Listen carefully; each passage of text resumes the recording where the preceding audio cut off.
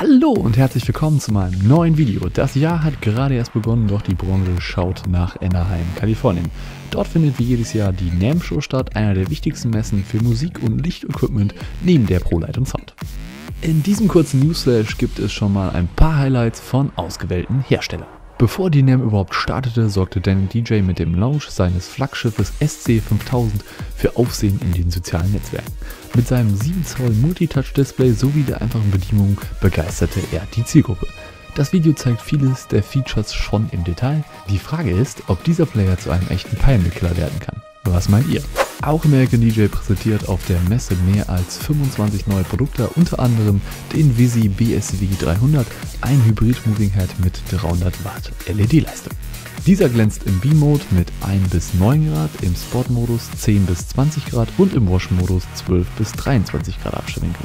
Ich denke, dass sich dieser Moving Head gut für semi-professionelle VA-Firmen eignet. Ich freue mich jetzt schon, mir diesen auf der ProLight Sound 2017 in Frankfurt näher anschauen zu dürfen. Ein weiteres Produkt von ADJ sind die Boomboxen. Dies sind kompakte 4 in 1 Effekte, welche sich besonders für DJs eignen. Der Trend geht bei vielen Herstellern jetzt in die Richtung Kombi-Effekte.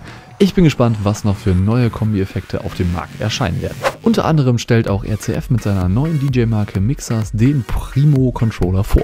Ein Zweikanal-Mixer für Serato DJ, welche zum Beispiel mit seinen 16 RGB Performance-Frequenz sowie der Möglichkeit, diesen auch als Standalone-Mischer zu nutzen. Ähnlich wie beim Pioneer Color FX lassen sich auch hier jedem Kanal Filter, Noise, Crush und Gate hinzufügen. Dies lässt dem DJ volle Freiheit in seiner Mixing-Kreativität. Auch von Cameo gibt es diesmal wieder Produkt-News. Diese präsentieren die Zenit-Serie, welche mit IP65 ein professioneller Begleiter im Außenbereich ist. Beim Zenit P130 und P40 lassen sich mittels Streuscheiben unterschiedliche Abstrahlwinkel realisieren. Beim Zenit Z120 hingegen lässt sich dies bequem über den Motorzoom in einen Bereich von 7 bis 55 Grad verstellen, je nachdem welche Strahlenart gerade gewünscht ist. Dies war ein kurzes Newsflash-Video zur NAM. Weiterführende Links findet ihr in der Beschreibung. Welches Produkt ist euer Highlight der diesjährigen NAM? Schreibt es mir unten in die Kommentare, ich freue mich drauf und wie immer am Ende sage ich Practice and Enjoy.